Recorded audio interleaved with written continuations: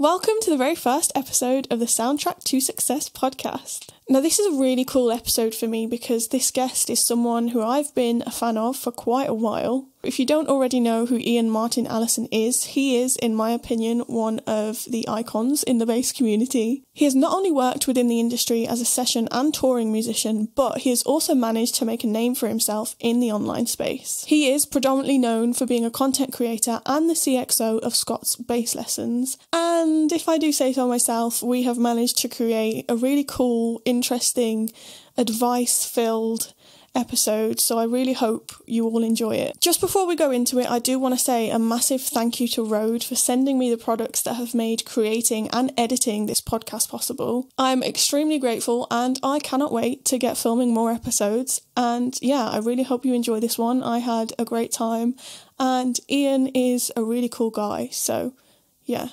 Again, I'm trying my hardest not to make it super formal and and weird. Well, not that it is. It's not. It's not going to be. It's going to be great. I mean, I want to. I'm gonna. I'm. A, I actually want to start and ask you a question. Can I ask you? Can I?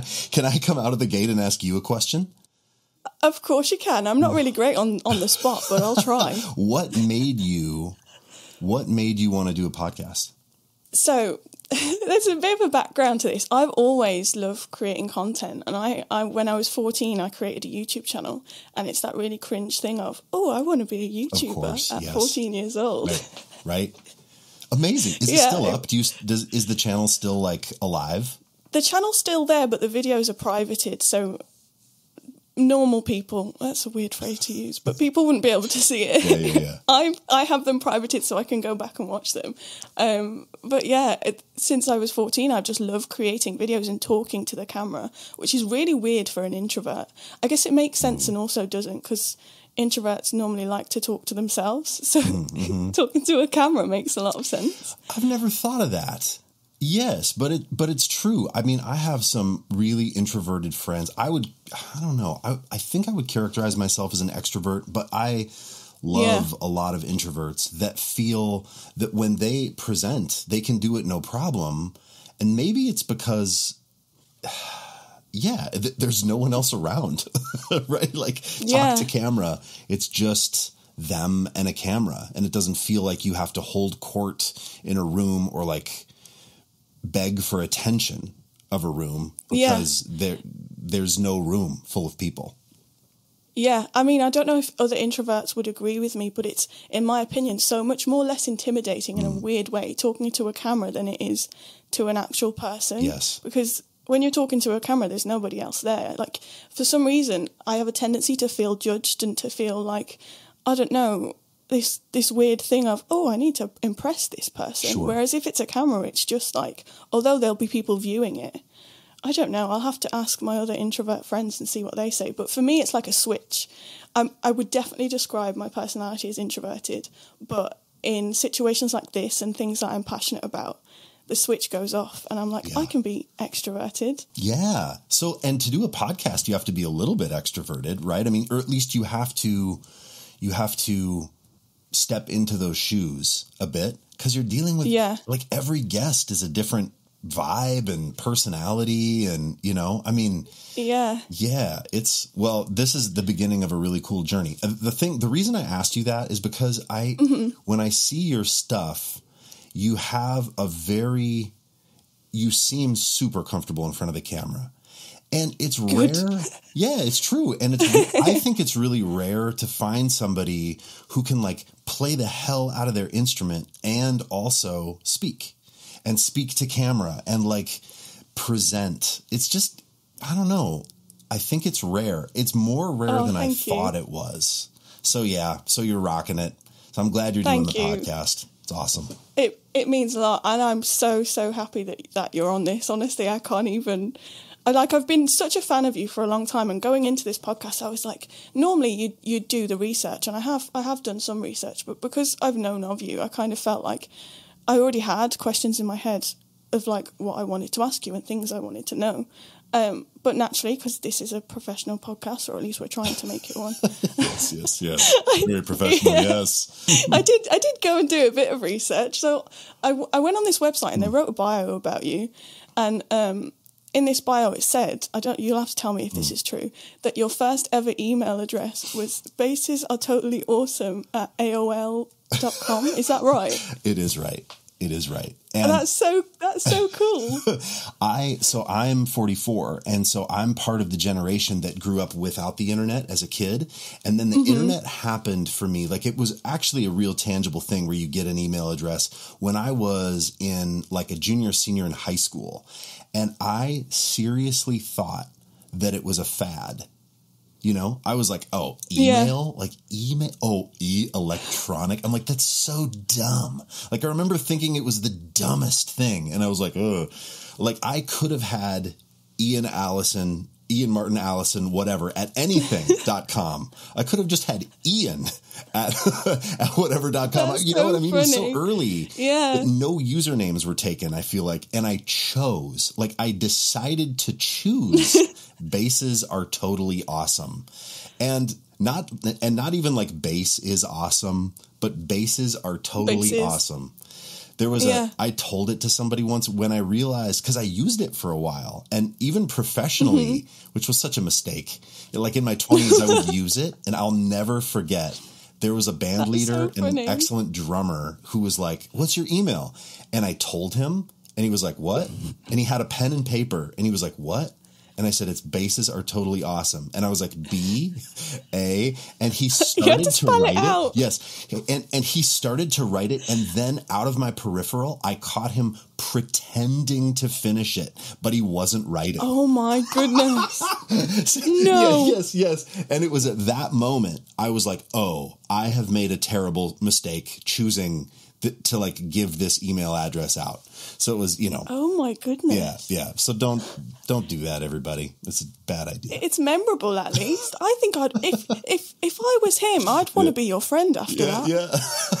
he was not feeling it. He did not feel the sort of like uh, the the cheeky like bass nerdery vibe that I was going for. He was like, "All right, yeah. man, no, I'm not writing that down." it's it's fine. He wasn't on your level. That's, Ian. that's right. Fine. That's right. It's, it's lost. so so what what is it about bass? Because I think I read that it's always just been bass for you, yeah. and it was just no coincidence, like bass. Yes. Um, okay, so uh, I've told this story a couple times, but I have to tell you because it's it is my origin story. Uh, mm-hmm. I was like a really tall kid. I, I'm I'm six three. I think I was six feet tall or even over in the seventh grade. So I was really tall early, and I was on a basketball team, but not because I was good at basketball.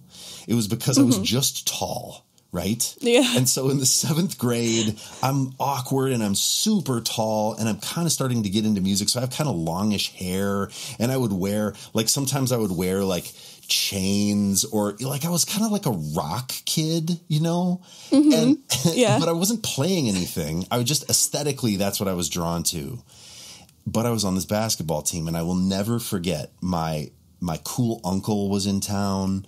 My mom and dad, my little sister were all in the stands, and like I got the ball, uh, you know, so I'm playing basketball and I get the ball, which was rare, I was bad at it. And I saw the hoop and I was like, amazing. And I took a shot and I missed, but I got the rebound. I'm like, oh, damn, stick. Oh. Like I got, I'm, I'm going to get to take a second shot. And the crowd was like, yeah you know, freaking out. I'm like, this is amazing. And I take a second shot and it bricks again. And I, and then like, oh my. I get that rebound, but it was sort of like easy to get it.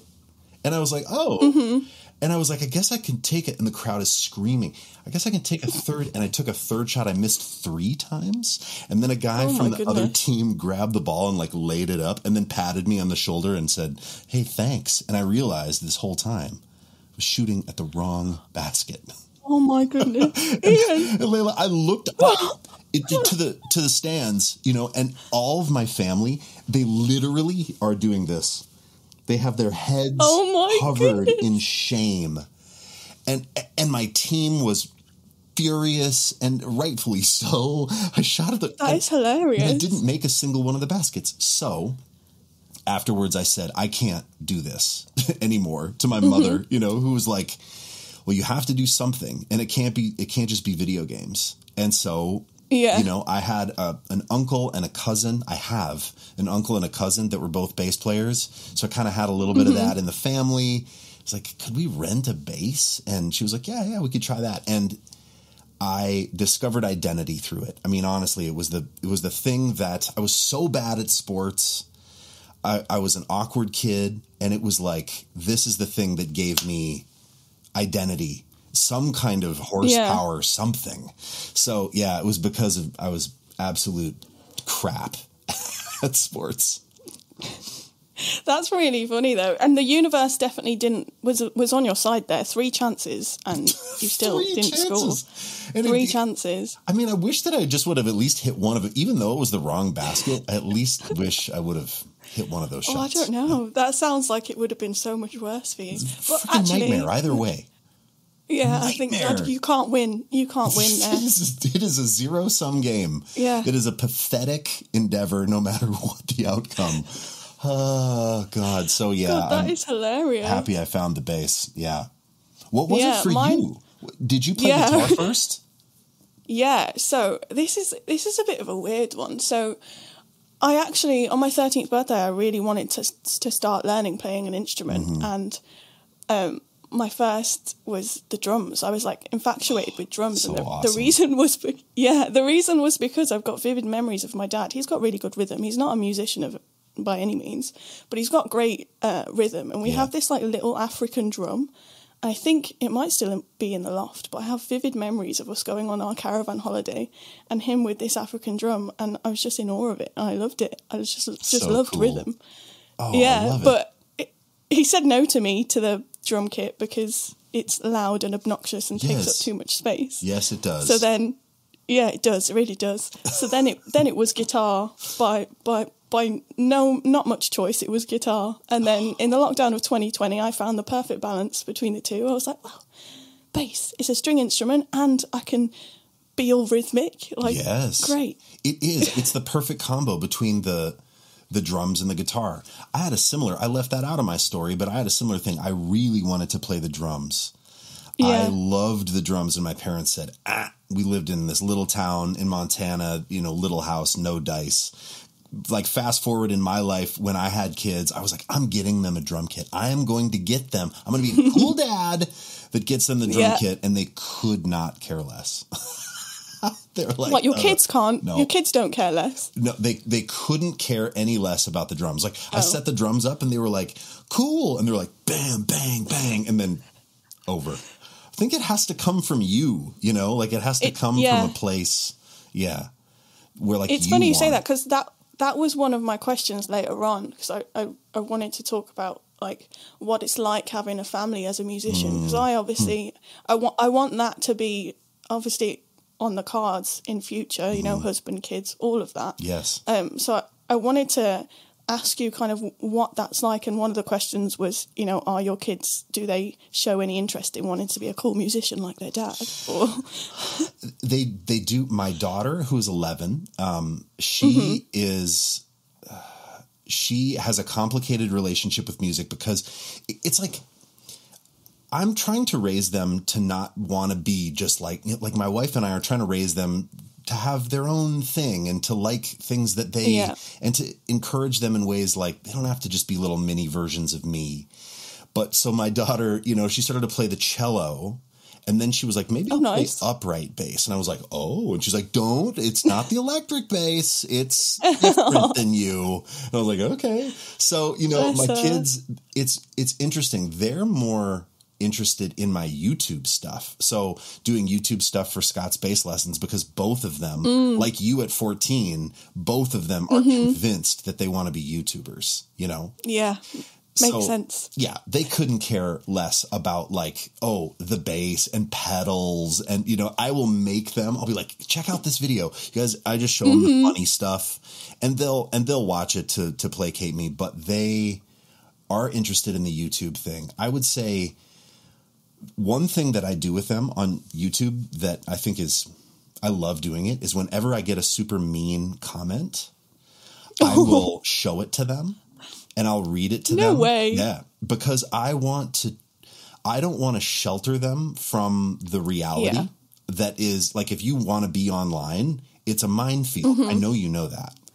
And Yeah. right, like I want to have them have a healthy relationship with it. So whenever I get, I've just decided to flip it. So instead of like, you guys, this video got X amount of likes and like, oh, and someone said I was cool.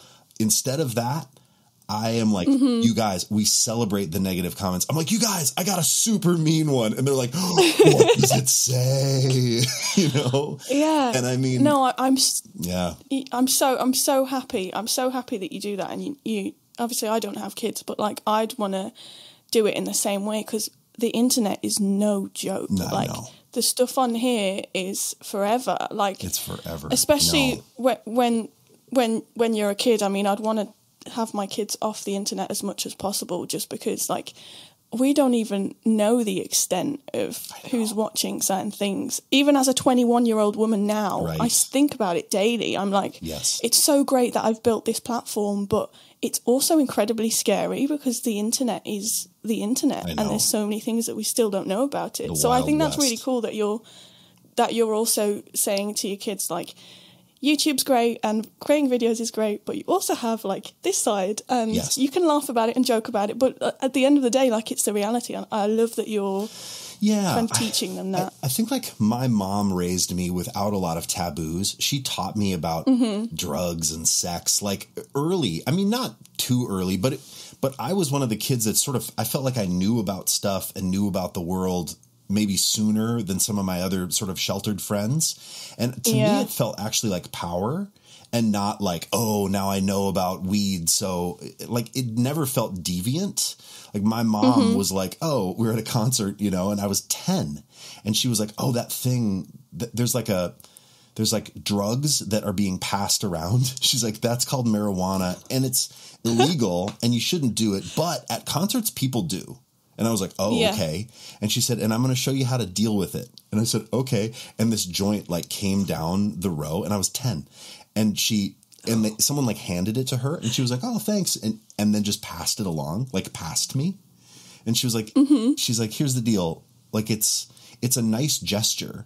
And so you, you say thank you for the gesture. It's actually a really nice thing to be offered. So you say thank you, mm-hmm. but no thank you, and then you just pass it along, and that's how you deal with it. And I was like, cool. And so I just thought that everybody's parents were like my mom. You know, yeah, it's just no, like- they're definitely not. so yeah, I think so. The things that feel really like taboo, I just want to talk to my kids about. And yeah, we we mm-hmm. decide on responses for negative comments together. So I'll say like, there was one. I. I was even going to read it to you. It, it would take too long to pull it up, but it was. I got one that was like a long, like I hate your face. Like I hate Oh your energy on every platform. You annoy me more than any. I mean, it was really intense. and so then, you know, I brought it to my kids and I said, how Yeah. do you how do you engage with this? There's sort of three options. You can be you can try to win and punch back. You can Mm-hmm. you can try to go high road and say and and like neutralize it and and say like hey cheers or you can ignore. And then so Yeah. whenever that happens, we decide like what what to do. Yeah. Depending on the context Depending of on what the context. said. Just so yeah. yeah. Because sometimes I think hate gets misconstrued for criticism. Sometimes if people say to on my videos, "Oh, actually, it's not that, it's this." I think insecurity in me can sometimes feel like, "Oh, oh, there that's a hater." But it's not. Yeah. Actually, it's someone that just wants my content to be better. Maybe it's maybe Yeah. it's even the op, you know, it's the opposite of a hater. it's someone that really wants me to do my best. But when someone is just Yeah, like straight mean, I then I'm I'm like ah, I I try either not to engage or just to at least like I had one experience where I went into somebody's profile and said found something that I liked of theirs. They mm-hmm. made they made some snarky comment and I found something that I liked and I said I get it. I if I annoy myself sometimes as well. Hey, the ghost notes you posted on April 11 are super solid in killing. And then he wrote me back and was like, "Dude, thank you, and I'm so sorry." That's the way to do it. It- yeah, it honestly it, it will make them feel incredibly horrible like with my hate comments i don't get a lot thankfully Mm-hmm. but i'm i try to take the high road and ignore them and i will press the block, block button if necessary Yes. Um, but uh, there have been times where my reply is literally like, "This is really sad." like my response to them is like, "It's really sad." That, in in a nice way, but I, I, I don't think I'm going to do that anymore. I'd rather I like your technique. I think that's really cool. Yeah. you just point out something that you like, and then that makes them feel absolutely horrible. I mean, and and I will say now I'm coming to this from the context of a 44 year old white American male, so I Mm-hmm. get that my experience is going to be different than yours. Is going like I was trying to I was talking about this with my sister. My sister is a stunt woman in New York. And Oh, wow. she posts stuff and she gets the creepiest. Like she posted something where she was looking amazing and doing this amazing stunt. And I saw the creepers come out like Yeah. in real time. I was like, oh. And she, she was like, see? She's like, see, big brother, this is what I deal real. with. You don't deal with this. Yeah. And I'm like, oh, that's true. I don't. So, you know, take it with a grain of salt. Um, but yeah, I, I have had the experience of turning something actually into not a friendship, but at least a a nice interaction, like where someone has mm-hmm. said something mean and I've commented. I was like, I, I get it. It's all good. You can feel that way. I actually think like what you're doing is actually really hip, and having that person say. I'm so sorry. Like I had a guy say my mom had COVID. I mean, he just gave me the whole story, right? He was like, "I'm sorry. I'm jealous. I'm I'm in a bad Oh place." goodness. And and now we DM. Like now we're homies. Wow, that's really cool, actually. Yeah, but I but I also know that like that's not necessarily going to be everybody's experience. I just think like what you what you said um, that you that you feel like it's sad. I agree. I Mm-hmm. think a lot of times people um, comment negatively out of jealousy. They wish they were doing what you were doing. They wish they liked making content. They wish they had started a YouTube channel when they were 14, you know? Yeah. And Yeah. they didn't and they're ugh, and you're you're getting all these ah you know and they want to just take a swipe. And it's sometimes Yeah. it's even just for attention, just so that you'll notice them. It's so sad. It's so true. It's Yeah. it's exactly what it is. I've a lot of what I've been getting recently will be from older men who oh, aren't Oh, yeah. who don't understand the social media the way that social media works now. And it, it comes across as if they're they're a little bit resentful because the opportunities that I've been given as someone who's self-taught as someone who like hasn't you know had much industry experience I've been given this opportunity because of social media. Yes. and they like to point that out as you know you're not a real musician. You don't know what you're mm. talking about. All of that which i can i can understand their point but they they they're really resistant to opening the possibilities of okay things are changing now. Social media exists. This has given me an incredible opportunity. The way that you used to see a musician is now changing. So yeah just i get so many comments now of it tends to be older men who just don't understand the social media game and it, it comes across as if they're a little bit resentful. I don't know i don't put words in their mouth but let me let me just verify that they are resentful. And mm-hmm, they thanks. also don't they they don't get it. They think it's too late for them and they're mm-hmm. furious. A- a- Yeah. and here's the thing. If you sucked or if they didn't think you were good they wouldn't comment. That's the thing.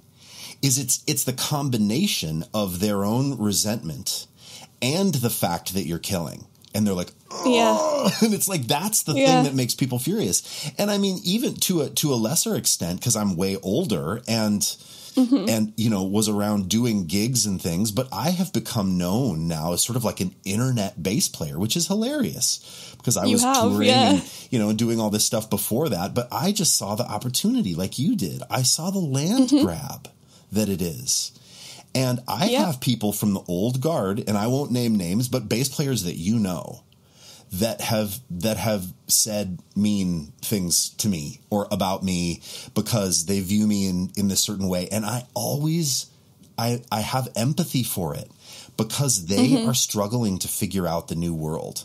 The thing that they Yeah. did with their band or the record label or whatever isn't working anymore. They don't feel like they're a good presenter. They don't uh, they don't maybe have a setup to record. They don't really even want to figure it out. They just want it to go back to the way it was and it's never going back. It's not going to. It is it isn't. not. and they, they need they need to get over it. And i'm so glad you said it because i'm i'm i think i'm too polite sometimes and I, I like to make excuses for people but it, it, it just purely is that they don't understand that changes are happening. Yes. and i'm on my own journey. I think this is what frustrates me sometimes about the music industry and social media as well is that people can get so possessive over certain things and think that things need to be done a certain way. Right. And it's so silly because if we were all more celebra- celebratory about what makes us successful as individuals, it'd be so much more of a much better place. Yes. Like, it, it just it really frustrates me that people are looked down on because they're taking a different path than someone else or you know they haven't been gigging every saturday and sunday and they haven't been professionally trained and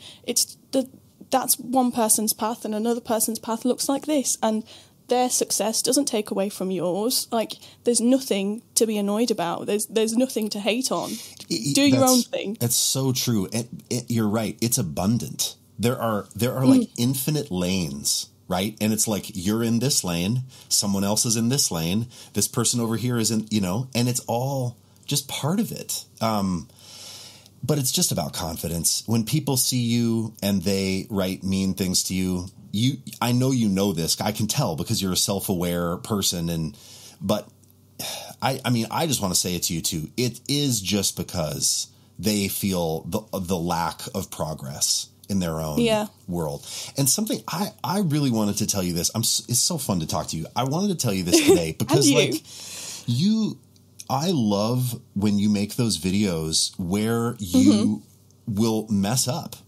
and you'll go. Yeah. back and you'll swear and you're and and by the way I don't know if I don't know if you're swearing on this podcast so so I'm so, so We I can don't know. swear. okay hey when, when you fuck up right I love when you do that and you show that Yeah. process and it's funny and it's so endearing I mean like I was checking you out and I was watching your videos and I was seeing your progression and like oh man like and i could see how much you're working on it and like getting Mm-hmm. like killing it. I mean you're putting in the time. And then when you uploaded one of those videos of like totally messing something up and i was like she is so rad because that actually takes a lot of humility a lot of confidence to show that. So i wanted to ask you like what spurred you on to want to show that vulnerable side of you I think it just comes back to my really disliking of not just in the music industry and not just social media, but uh, this need to be perfect. I feel like it's so fake and so just doesn't exist. And everything in me really dislikes, and you see it play out in life in general as well when we're talking about friendships and relationships Yes. that like on social media the version of reality is so incredibly different and it's so frustrating for me to see these friendships and relationships and I'm like what you're posting online is so far from the truth yes and it frustrates me to no end because I'm like, it's not perfect. We're not perfect. The world would be such a, a great place if everybody just sat down and acknowledged that like everybody has weaknesses and that sometimes we mess up, sometimes we fuck up. Yes. and Yes. it's fine. Right. It's completely fine. Right. I think everything in me like I say, that's just been something that I've had a deep disliking for Mm-hmm. about the way that the world works. So if I can make someone feel a little bit more comforted by the fact that they're not alone, that they're messing up all the time, maybe Yes. you're having a bad day. I want to do it. It's you know, I do get comments from time to time, people telling me to practice more, and I'm like, yeah, sure, I will. I do behind the scenes. But these videos actually, you know, help people. And even if it just helps just one, I, I've done something. And and to me, when you're you're sitting there with your instrument in front of that camera working on working on recording, that's practice. I mean, you are Mm-hmm. Yeah. actually what I see is that you you are doing the work. You're putting in the time. You're learning so many songs and I can tell that you love it and I can tell that you're striving. And so it's Mm-hmm. like I want to be like, bro, you go practice more. Like I'm, I actually, like, I feel like you could be like, hold up, I just uploaded a video of me practicing. like, when's your last practice video? That's like what you want to say in your is- mind, right? This is the thing. Yeah. I think a lot of people have it in their heads as well that practice looks a certain type of way. Um, practicing scales and doing all of that is all great and necessary, but you can have fun while you practice. You know, Yeah. like I can play a song that I like and still call it practicing. 100%. Just because I'm not like sat there doing scales in front of your face doesn't mean I don't do it behind the scenes. Well, and think about all the things you're getting better at when you endeavor to Mm. record yourself. You're criticizing, you're in real time, you're you're hitting that space bar going nope nope because it's not good enough. I mean you're like you're like sculpting you know? Like Yeah. you're working on your time you ah you miss that half step ah or it doesn't quite feel right. And i can tell you're really perceptive to that because you'll be like nah not you know? And it's it's not good enough. And that's that's like sharpening your thing. It, and if you were and another way sure is like running all the modes or whatever but it doesn't matter. It like what matters, I think, is doing the things that you love and that bring you Yeah. joy around music. And you'll get a gig in your future. You will. You will get an opportunity that will terrify you because there will be some level of vocabulary that you haven't worked on yet. And you'll have to dive in. And then it will give you a reason to dive into that stuff. That happens with Yeah. everybody, right? Where you get an opportunity and it feels scary. But then that's what mm-hmm. sharpens you. And right now, you're sharpening in all of that, like in the recording world. Ha- let me ask you this Have you been asked to play on stuff as a result of y- these videos? Have you played on people's records? Have you done tracks for people? What's that look like for you? So I have been asked. I've never. The, the thing is, I'm like, what do I charge? All of that was clueless to me, and because at, at the time I was, and at the time and now, I'm working on so many different things. I'm like, okay, I've got my Patreon, and now I want to work on a podcast, and but yeah, people people do ask me, and they have in the past, but I was like, that's another thing. I don't want to undersell or oversell, so I was mm. like, I don't know where to start with this, and I didn't really. Well, I could have asked someone, but I didn't at the time feel like I had anybody to ask for advice when it comes to that. So I haven't yet. I mean, it's something I'd be down for doing. Um, but yeah, I need to I need to figure out logistically the charges and Can can I All of that can stuff. I just give you a brief synopsis of what this looks like Yeah. in my world? Because Of course you can. okay, so check this out. I think I'm trying to be I'm trying to be cautious. I don't not cautious. I just want to Okay, here's here's the thing. For me when I was young, I Mm-hmm. thought that professional meant money. Or I thought that it meant like Yeah. I need to charge X amount for for my services. And in some ways it does. It of course you don't want to undersell, but also in Mm-hmm. the beginning you do just need reps. Like you just need to Yeah. do it. And so here's what I would say. I squandered opportunities in the beginning because I was like, well, I would love to play on your record, but I charge, you know, $500 per and people would be like, "Oh." And it was a local thing and and I remember just I did it with gigs too. Well, how much does the rehearsal pay? And Yeah. and I squandered those opportunities. Now, that said, I wasn't in your position of having things that you were interested in doing in other avenues. I was not Yeah. having to prioritize my time. So you have Mm-hmm. this incredible thing right now where you you could be as busy as you want to be. Um, so you need to weigh like what what gets your yes, right? Yeah. But the thing that changed it for me is I watched an interview with Justin Meldal Johnson, who played who he played for Beck, for Paramore. He played he's produced a producer now, M83, Tegan and Sara, I'm a Robot, Macy Gray, Tori Amos. And he said, he said, here's the thing. The money to me is the least valuable thing that I'm going to get from the interaction. He's like, Yeah. So he's like, because I'm making money in other ways or whatever, right? Um, he said, for me, if it's cool, I do it. And that just meant if he is excited, you know that feeling. It's like Yeah. you get the like adrenaline blast. if that feeling hits him, he says yes. And that's his North Star. And I thought, huh, I wonder if I could, I wonder if I could start to operate that way and what that would look like for me. And And I mm. have to say, it changed everything. Like when I started to like not think about what am I going to charge, how am I going to appear professional, but once I started to go, oh, this is dope. This I want. Mm-hmm. I want. I can envision what I would play. I'm excited to make content around this. I mean, I guess before Yeah. before content, I wasn't thinking about that, but when I could see myself like, oh, I'm excited. I, it's cool. I want to see. I'm envisioning myself on stage. I know what pedal I would. I know what bass I would choose. That's because who are who are we without a great song? We're nothing. Yeah, in a it's so way, true. right? So It's so true. yeah, so I feel like if it's cool, I do it, and I still do. In fact, I just had a call with this amazing artist. His name is. This sounds like a joke, but he's in LA. His name is Ian Everson. it's just, Oh. it's just such a, it's so weird. And I'm like, well, we have to work together because our names Ian are so close. Yeah, but he sent me some stuff, and right, like his budget is lower than maybe I would like, but it's so Mm-hmm. good that I'm like, dude, one hundred percent. I view it as like an honor. If someone asked me to Yeah. play on it, I'm like, I'm so thrilled that you want me to, Mm-hmm. and I'm I'm pumped. Here's what I charge, and so he, the nitty gritty. I always say to artists, "Here's what I charge," but I don't care.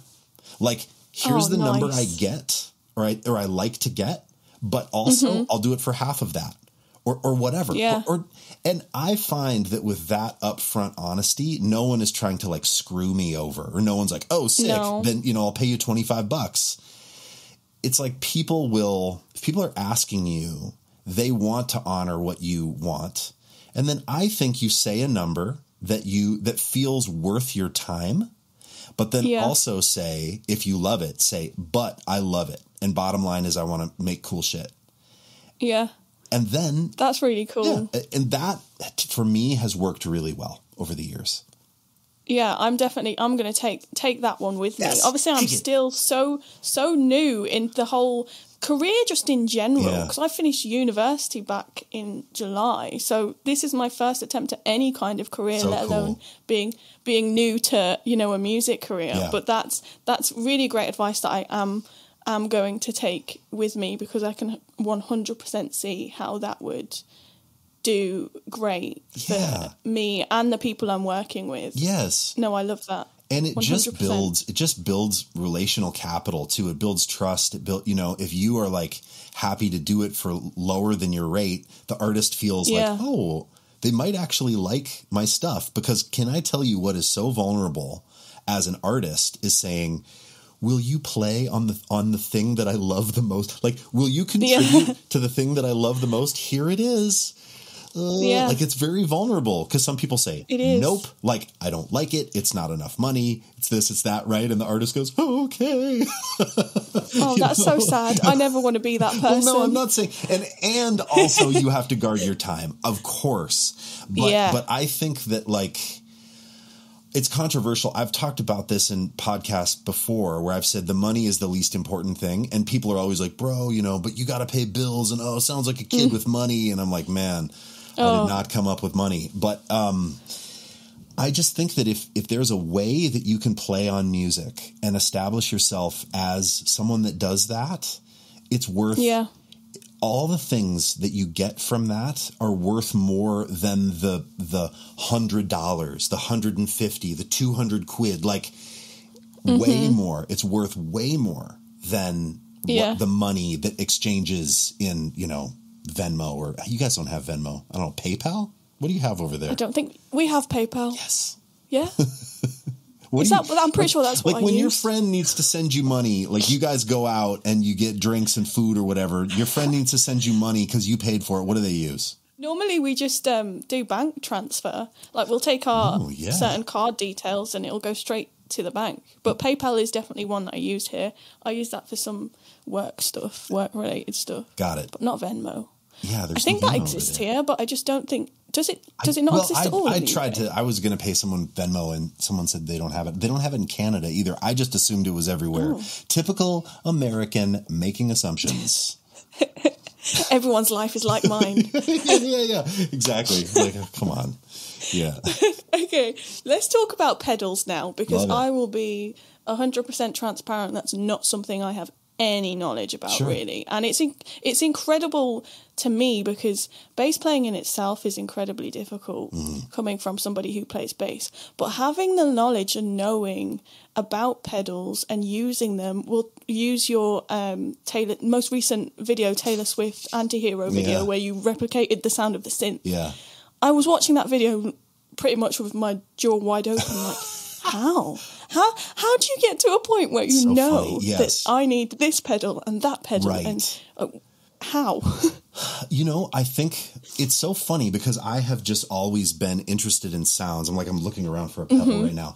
I've just always been interested in sounds. And it, it started as a kid without the internet, just wondering things like, God, I want hearing Tony Levin on a Peter Gabriel record or hearing a bassist that I loved and going, what is that? And then I would just ask people. And, you know, like I'm old. So I've had all these years of wondering. And then when the internet came around, are you kidding me? Then I feel like I could see people do it and I was so excited. But, but it really did come from a pure place of, I just really like sounds. I think mm-hmm. the sound of a bass is almost more important to me in a way than than like all of the notes. Like, you know, Yeah. I love great bass lines. Don't get me wrong. Like I love when it's funky and but I also love when a bass line is like and just like mm-hmm. where it it almost sounds like a soundtrack or it's evoking a feeling. I think that's what I Yeah. love about synth bass is that it's sort of this odd parallel universe to the electric bass. It does the same function. It's still bass, but it's like all about sound, you know? yeah, And that's cool to me. It always has been. I love hip hop music and electronic music. And so, and basses in those worlds always sound different. So I found first. I found an octave pedal. And that was the very first thing, which just takes your note, you know, and plays it an octave lower than you play it. So it Yeah. immediately, wow, it shifts your whole perspective because you have to play an octave higher than you would to generate Mm-hmm. that same pitch. And oh, and it's interesting up here on the bass. It sounds kind of like it's just a different timbre, and the octave is so low. You kick that on, and in a band context, everybody's like, "Oh," because the floor just feels like it drops a couple feet, and you're like, "Oh, this is so sick." And then for me, it was like, "Well, what do you?" After that, what is there? Oh, you can put a fuzz after that. Oh, and that's going to make it like, like so meaner. cool.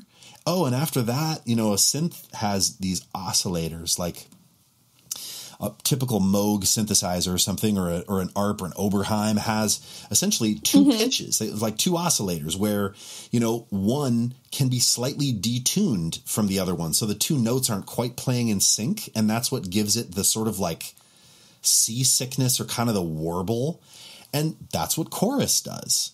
So you know, like in the beginning for me, it was like, whoa, if you do octave, fuzz, chorus, you sort of sound like a synthesizer. You got it going on. yeah yeah. And and that to me was just a sound that i loved. And and i've said this before so uh, sorry if i'm you know if you've heard me say this or if anyone's listening to this heard me say this for the longest time i didn't i thought it was lame that i did it that way mm-hmm. like i i always was like oh i should play a real keyboard or oh you should hire i would downplay it oh you should hire someone that can really do it Yeah. and then I had my dear friend Jonathan Maron, who's a great bass player. Leyla, do you know Jonathan Maron?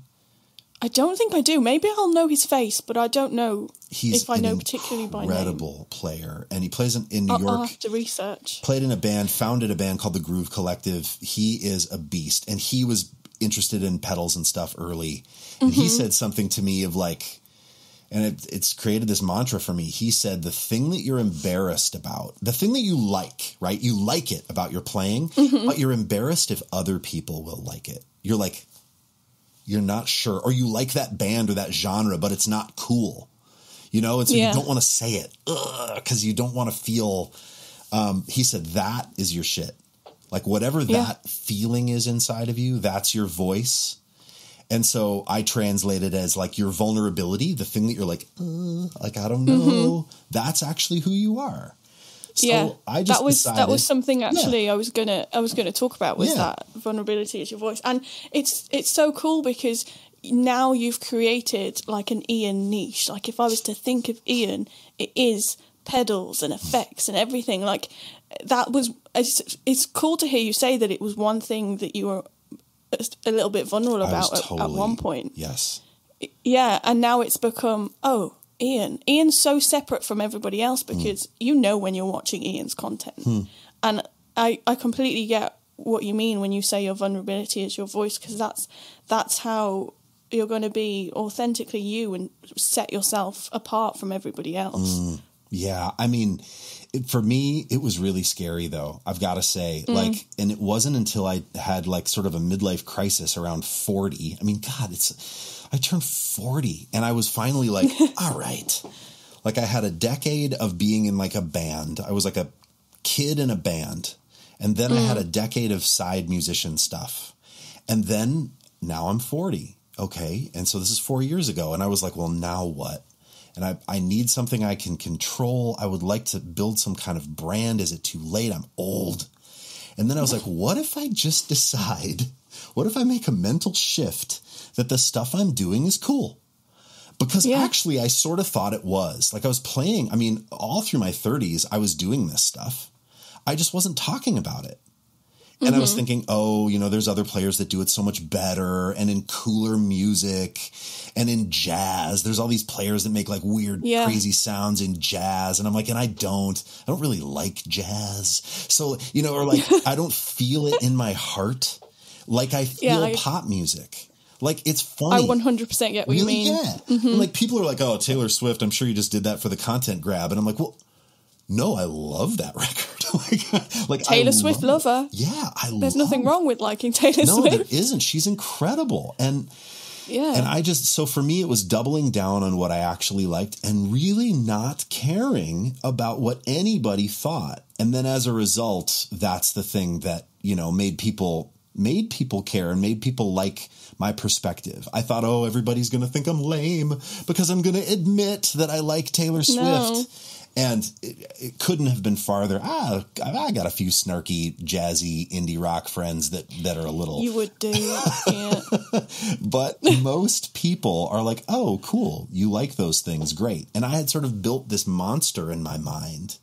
Like, oh, people are going to be so judgmental and harsh and, you know, mm-hmm. and mean. And they're going to think so easy to do, stupid. yeah. And everybody was like, cool, man. Like what you like.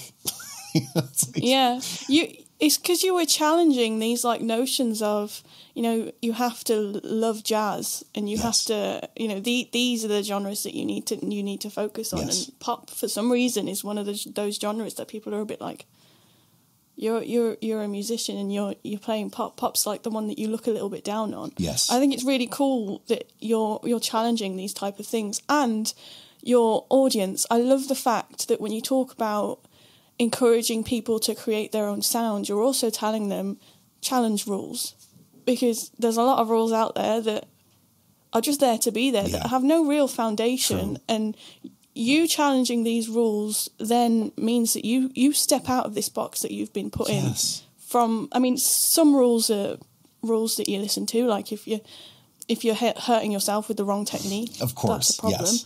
Yes. but like other things like you say playing with a pick and Right.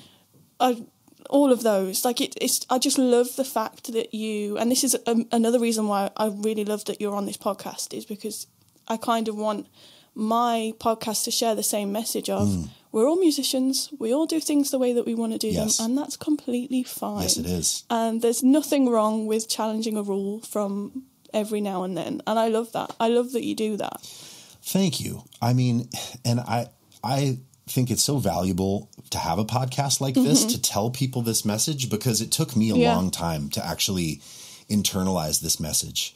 And I think now there's probably a little less stigma than when I came up around playing with a pick, playing different techniques, Yeah. playing pedals, playing but I came up in this real stodgy time or at least in my town and in the people that I knew were kind of like, "Oh, if you want to be legit, here are the rules. Here are all the mm. things you have to do." And and I make a differentiation between best practices, right? There of course technique, of course, putting your finger in the right place, of course, learning Yeah. a wide range of styles, learning theory, knowing how to play scales and arpeggios, and knowing what that stuff is will help. But it doesn't, it's not a gateway. It's not, um, if even if you can't play arpeggios and scales, but you're making cool sounds and you're making music that's compelling, great. Like Yeah. it's fine. And so like there are these sort of elitist voices out there that will say, you know, you know, in order to get to this, you have to climb this ladder and don't slow anything down and you have to, you know, you have to do it this way and you have to transcribe these solos.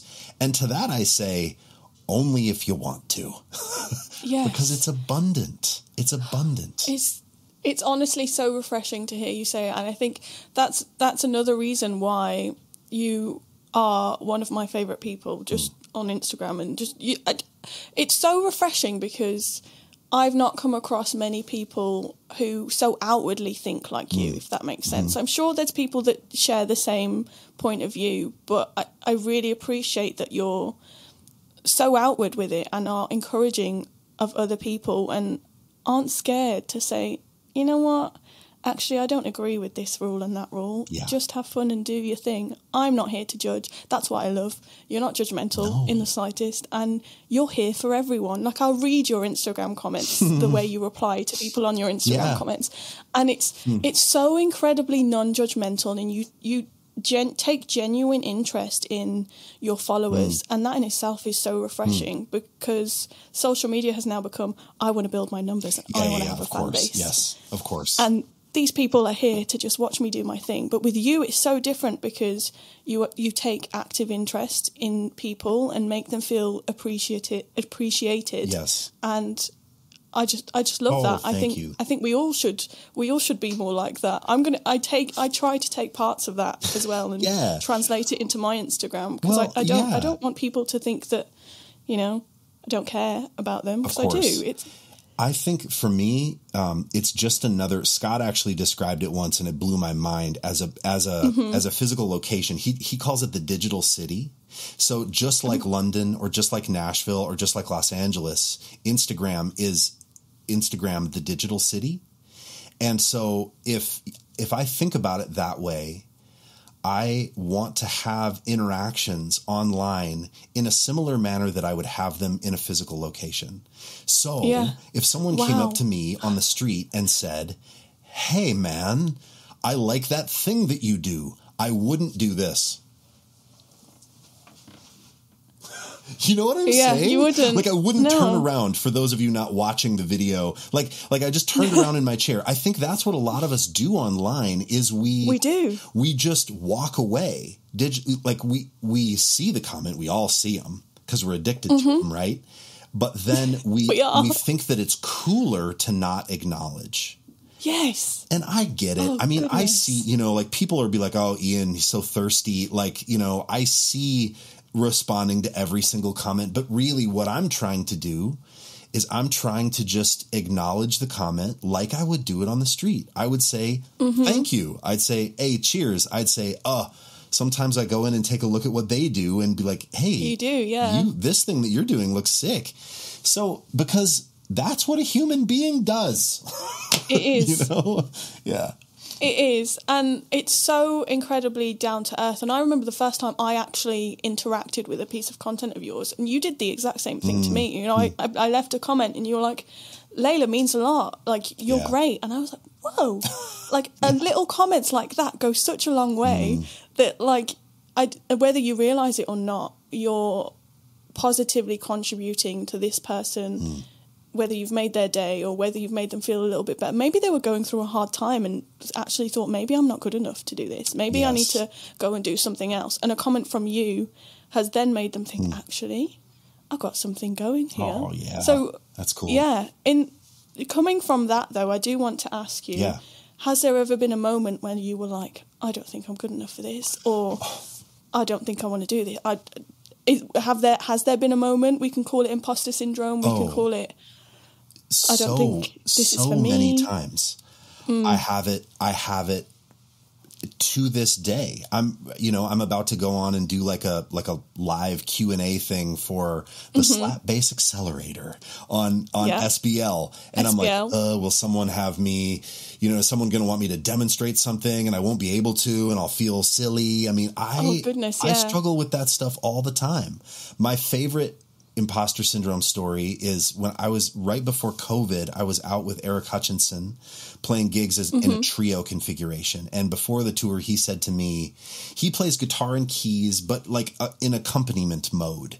So he's not a like a like a shredder or he he's not playing a guitar solo. He's not playing a key Yeah. solo. He accompanies himself, singer songwriter, killer writer, killer singer, and then instrumentally he he's like an accompanist, right?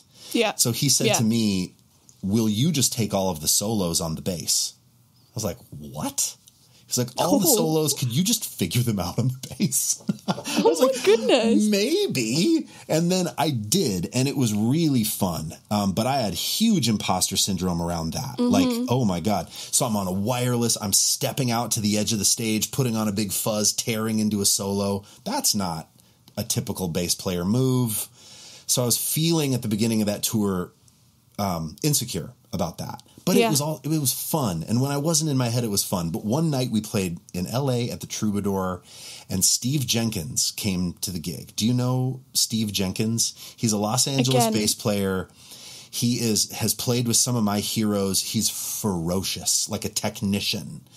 And I will never forget, he DM'd me and said, I'm coming to the show. And I was like, oh, wow. And Oh my goodness. and then I thought two things. I thought I was really excited and um, humbled, and then I was terrified because I really respect him. And then I was like, ah, I'm going to be in my head the whole night. And we walked down the stairs, and I was looking around in the crowd, and I was like, Oh, he's not here. Good. And then I saw him, and I was like, No, you know. Oh, no. And I played the gig, and it was fine. But I was thinking about every move I made. I was just in my head about every single thing. Whatever. The Yeah. gig went fine, and afterwards we I saw him and I was like, dude, I have to say two things. Thank you for coming and fuck you for coming. And he was like, what? He was like, why? And I'm like, dude, you're Steve Jenkins. I was in my head the whole time. I was like, and he was Oh like, oh, and then he said a thing, Leyla, that I will never forget. He goes, dude, no. He's like, it's it's lanes, it's superheroes. And I was like, what do you mean? He's like, you're He's like Marvel, and I was like, sure. And he's like, okay, you are Wolverine, and I'm Thor. He's like, you're not mad that I have the hammer, and I'm not Yeah. mad that you have the claws. He's like, think about it. Like superheroes all have a thing that they do. And they have Yeah. a tragic backstory, and they're probably insecure, and they're they're a mess. But they're not pining away for the other person's power ever. No. Like you never hear in those stories how like, oh, Batman, oh if only you know, like Superman, oh if only I could.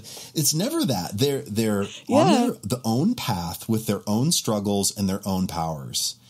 And I thought that's pretty hip. And I said to him, Steve Jenkins, like, are you calling me a superhero of the bass? And he was like, Yeah, man, of course. Yeah. And I, it's like, and I gave him a big he hug, definitely did know? call you that. Yeah, and that's the thing that I try to impart to people. Like, you don't have to have all the bebop vocabulary under your belt. You don't have to know Mm-hmm. all of the scales to melodic and harmonic minor. Like, you, modes rather, you just need to make music that you Yeah. like, that makes you feel good and invincible and amazing.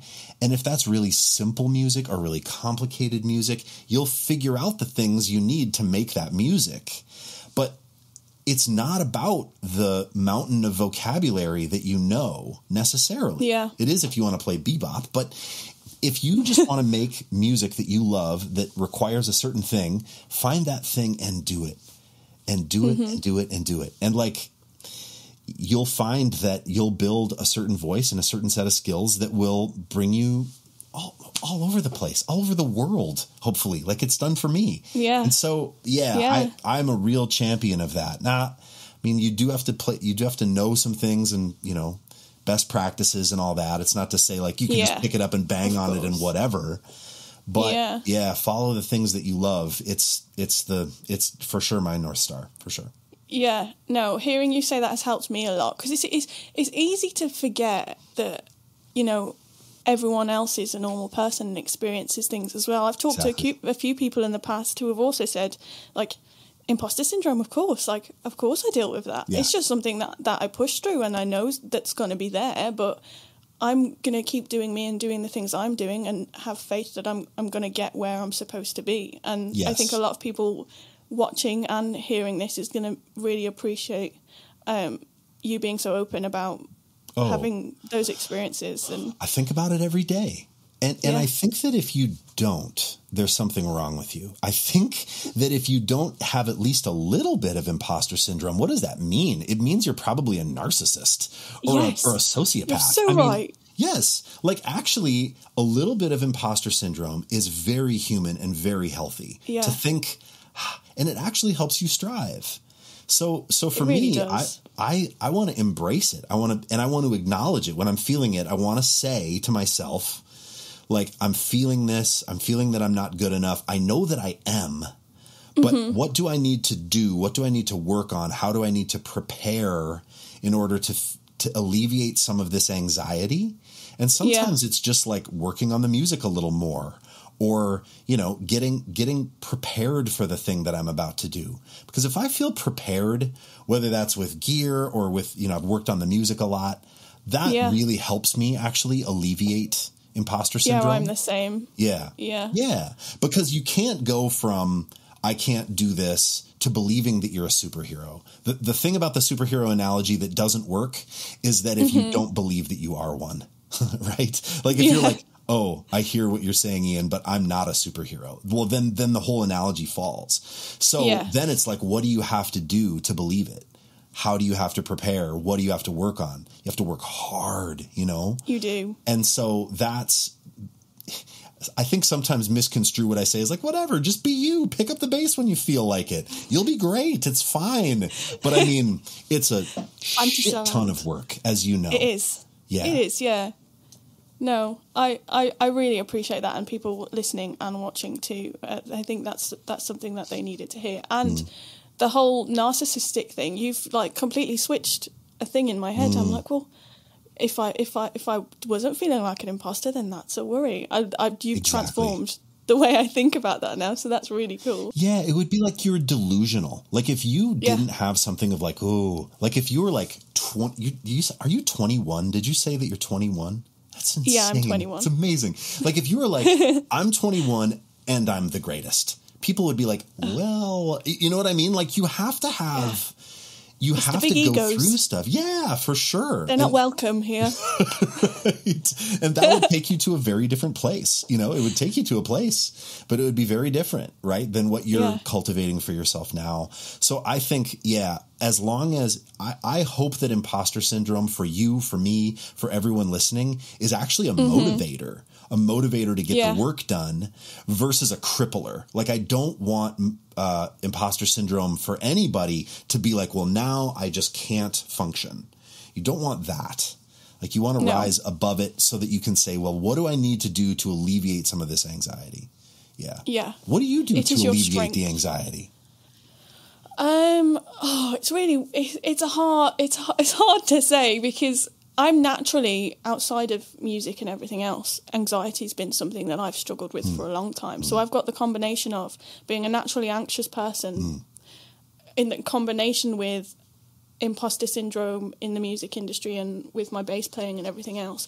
But it takes a lot of mental effort for me to bring myself back to earth and say, look, if I don't go through with this, I might not get to the point in my career that I want to get to. Right. I could be missing out on so many incredible things because I've let this imposter syndrome stop me from doing the podcast. Yes. Stop me from going to that gig. Stop me from, you know, meeting up with someone that, you know, I've I've met online but has incredible amounts of information that that, that, that they can give me. Sure. Like the the whole impost, imposter syndrome thing really when I think about it and I bring myself down a peg and I'm like, Leyla, this is this really isn't going to help you. If I get too carried away with, I don't think I'm good enough, I'm never I'm never gonna get to where I want to be. So it's it's just a lot of mental effort to remind myself that you have goals and to achieve them and to be the best person that you want to be. Yeah. You're going to have to constantly challenge those thoughts. Right. Yeah. It's I, I love that. And that and even if it's scary or even if you fail or you don't get the gig Mm-hmm. Yeah. or you whatever, like that will that is actually forward momentum. That's forward motion. We put so much or I, me- I remember in my 20s I put so much weight on every decision and I wish that I would have just seen that it was l- bigger. That even if you know, like I got fired from a session and I thought, oh, well, I was 26. I'm like, well, that's it. I, it's over. I'm done. oh damn. And it was actually the beginning. It was the beginning. You mm-hmm. know, it was like someone saying, it was someone saying, you need to bring in a different set of music into your repertoire. I didn't know anything about the Beatles or Jamerson or Motown Yeah. or, you know, and I, I got fired because they wanted to do kind of like a Motown early Beatles, Paul McCartney thing. And I couldn't do it. And, and the producer said, well, let's be done. I'll never forget it. And then he said, go to the record store and buy Beatles number ones and like Hitsville USA, the Motown box set, and then work on that music. And then when you feel confident with it, call me back. And I said, oh, okay. And he said, so, you know, bye, kind of. Yeah. And I packed up my stuff and I got in my car and I wept. I wept. Oh my goodness. And then I went and bought the records. And then I Yeah. did the work. See, this is, why you can't have a big ego. Yeah. Because if you were someone who had a big ego, you'd say, "Ah, the world is against me, and Exactly. I'm, maybe I'm not supposed to do this." Yes. And you you pushed all those thoughts aside, and you said, "Well, this is just something that I need to pick up."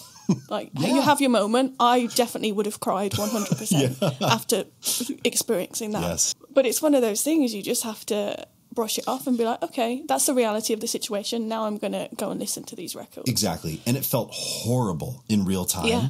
but mm. oh, it, it changed my life actually for the better. And you're absolutely right. There was part of me that thought, that wanted to be like, oh, well, fuck that guy. You know what I mean? What does he mm-hmm. know? Yeah. But I knew, actually, deep down, I knew that he was right. I knew that he was right. And I was mm. flossing. I was pretending. He would be like, let's do this thing like McCartney. And I would be like, kind of like this. I didn't know what I was doing. And he was like, "Hmm, not like that. And I was like, oh. And then I just, that, the heat rising. you know what I mean? God. Just like, yeah. But it really was good for me because it expanded my mind into so many other things. And, you know, uh, yeah. So I think that like the journey is a big it, it's the best teacher and that sounds like it sounds like something you'd see on a wall so cheesy. Like the journey is the best teacher like a whale like coming out of the ocean. Um, but but really like the failure is a gift. It and that's that's It another is. stupid saying but it's so true. It's really true that when you I love that fall on your butt like it will it, it will as long as you have the faculties to get up again and go like it will Mm-hmm. Yeah. change your life for the better. It really will One hundred percent, and you've. I mean, I, I kind of had that thinking before, but talking to, to you today on this podcast has really like solidified everything. That like, yeah, you can fail. That's completely yes, fine. Yes. And, And I you love it. should. And like if you're not, Yeah. then if you're not failing, like you you're just in such a weird comfort zone. I mean, that's what Mm-hmm. like going back to the stuff that you post where you're working on stuff and you're going like shit, like and going through that that process. Yes, like I love that because you're demonstrating like a bunch of micro failures. And that Yeah. those failures are carving you. They're carving you. They're like you are like sharpening your tools during that process and it is a result of failure. And that's so Mm-hmm. awesome. Like you're doing such a great service by showing that process. You really are. Because Thank you. I I seriously Leyla, when I see that stuff, I wonder am I self-confident enough to make a video like that? Like I wonder that. I'm like do I have the confidence to do that thing? I don't know. Yeah. I don't know that I do, but I probably should. It's yeah. I mean, for me, it's so weird because I've had people say this exact same thing Mm. to me, but in my head, I'm like, failing is so normal and natural. Like, That's great. you Yes. know what? Why don't why don't why don't we show it? But and then I have to bring myself back to earth again and say like not everybody thinks like you Leyla. Mm. That's really really hard for some people, Yeah. a really vulnerable thing right for some people for to sure do. for sure I mean, if you're Ian, I'd love to see your behind the scenes videos of you if you ever wanted to. I to I think it. it'd be great. i need to do it. I think it you do. yeah I'd love it. I'd love them, and I guarantee everybody else will too. Mm-hmm. And you'll be contributing to the to the change. As cringe as that sounds, of you know, failing is fine. There's nothing wrong with it. Doesn't make you a bad musician. of course And yes we all do it. we all There's- do it over and over again yes Yeah, okay continuously. challenge accepted in in the next couple of weeks I, I will make a post where i'm just and i will give you credit credit where credit is due i'm like i'm ripping off I mean, Leyla right you now. can if you want. yeah, you do, uh, you don't have to, but if you want to, I that's will, completely 100%. fine. yeah I'm just excited. I'm just excited to see it. amazing Thank you for joining me today. Oh, by the it's way, it's pleasure. been it's been really nice. fun. Seeing as this is the first episode, though, I kind of had an idea in my head. I wanted to make a link to like the name of the podcast and have the same last the same last question on all of my podcasts. Love it. So, the last question is this. Um, this might be a little bit of an on the spot one, so I apologize can't in advance. But if you were to choose one song to describe the way your career has gone so far, what would it be? So, AKA, what is your soundtrack to success? Oh, that It's a question. It's a question. You are the worst for asking that question. you are the worst for a- oh, I thought you were going to be you like didn't. if you had one bass on a desert island and oh, the soundtrack Yeah. for success. Yeah, if you had to describe your success. To be fair, you did this to yourself, Ian, because you didn't want to see the questions. So, It's so true. no. If you don't have one, it's completely fine. Oh, I had a have really. to, I have to have I have to have one though. I can't just not answer that question. Well, Wow. yeah, you do a have to have big, big question. So, a song that exists that's the soundtrack for my success? Or the way you see your success going, because you've still got a lot of life to live, Ian. It's not. Yeah, I yeah, that's the thing is like I still I still feel You're still going. Yeah. Yeah. I mean it um this is such a can this is a potentially a lame answer, but my mind keeps hitting it, so I need to I need to just tell you this. Like I could like I was like ch ch ch changes. No. not going to answer that. No. Because I've had all these, you know, like bobs and weaves, but that's dumb. What my mind goes to is this thing that I haven't heard before that I would like to make. So I think my mm-hmm. answer to you is going to be a record that I want to make in the future that I hope is the soundtrack to some level of success. And here's what it is Yeah. I'm from this. I'm from a part of the United States that is like more rural. It's Montana. I don't know if you've ever been Yeah. or heard of it, but it's what's Heard on it, my never hat. been. I'm from I'm from a little tiny town called Kalispell. I guess it's not so little tiny, but it's pretty small, up in the northwest corner. Yeah. Country music Um, Oh, and and I hated it growing up. I didn't hate the Really? place, but I hated country music and like old country music is like stupid. Like my parents liked it. I'm like dumb. That sucks. And then I moved to the city. I moved to Minneapolis and got, you know, now I'm listening to cool music. I'm listening to hip hop and EDM and playing synth bass and pop. Yes. and then I, at, you know, as I aged, I came to grips with my childhood and how I was born and raised and how I've never felt more Montanan than I feel mm-hmm. now. And so I I'm going to make a record that is going to combine the the electronic production and the synthy sounds of pop music that I love with I top- love that. Yeah, with top lines of like baritone guitar, country, like that sort of. Have you ever heard that like sort of spring reverb and tremolo sound that I use? Sometimes it's like probably. Yeah. it sounds kind of like um, country music, Glen Campbell, Johnny Cash.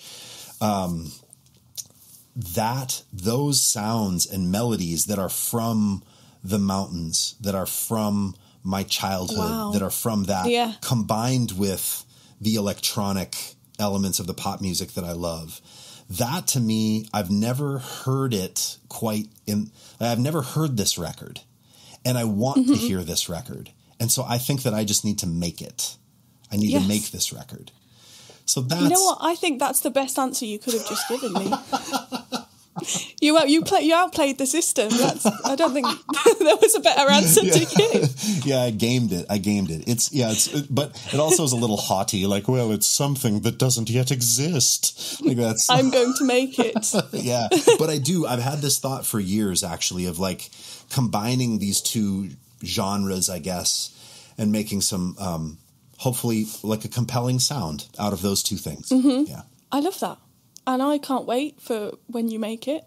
And it is sounds like a great soundtrack to success. Thank you. Thank you again, Ian, for taking the time to join me today. Um, Oh, it's my I pleasure. can't, I can't believe that this is the first episode I've done because it's just crazy. I've been a fan of you for such a long time, and Well- now we're sat here having a conversation. And Well, likewise. And and can I tell you, I had a little bit of imposter syndrome when you announced the podcast. I was like, I wonder, like like in my in my tiny mind, I wonder if she'd ask me. you were like my dream guest, Ian. Honestly, well, really well, were. let me let me just say you're doing you're doing such great work, Leyla. You are doing Thank such you. great work. I love that you have a pod now. It's just the natural progression, and you have so much in front of you. Like your future is so bright. I can tell that Thank you, you so feel much. that deep down. There will be roadblocks and bumps and stuff along the way, but you're doing Mm-hmm. you are doing it right. And i just can't wait. Like i'm i'm such a fan. So i'm gonna be like in the sidelines like you know when you're massive and you're touring with the massive artist and i'll be like i was i was the Oh. first i'll be like i was the first guest on her podcast. Yeah, this is. Ian, we are living in an iconic moment. Yeah, yeah, this, exactly. This, this is it. this is it we're gonna look back and be like oh Yeah. remember that episode no for real um i just you just need to know that i'm like i'm your cheerleader i'm your fan Thank so you so much. Same for you. Yeah, cheers. I'm I'm just it's just weird to even hear you say that. It's so cool and weird that like yeah. I I'm I'm very I'm very glad that we've we've had this chance to talk and and connect. Same, same. It was awesome. And I can't wait. I'm going to listen too. I can't wait to hear what you're doing on the pod. So I'll be out there, Yeah. a faithful listener. Yeah, I've got to figure out all the editing and stuff, which I'm sure I will. It's all good. You can figure it Um, out. it- yeah. Yeah, I'll figure it out. It might take a while, but it's completely fine. it is. Yeah. It is. It's Yeah. part of it. It's part of the whole thing. it is. It definitely is. Well, thank you so much, Ian. You're so welcome.